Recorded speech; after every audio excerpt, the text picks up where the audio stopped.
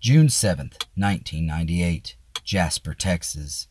James Byrd, Jr. was a 49 year old black American who had his ankles chained to the, a pickup truck, and he was dragged for three miles down an asphalt road by two white men. He died about halfway through. His body hit the edge of a culvert and took off his head and his right arm.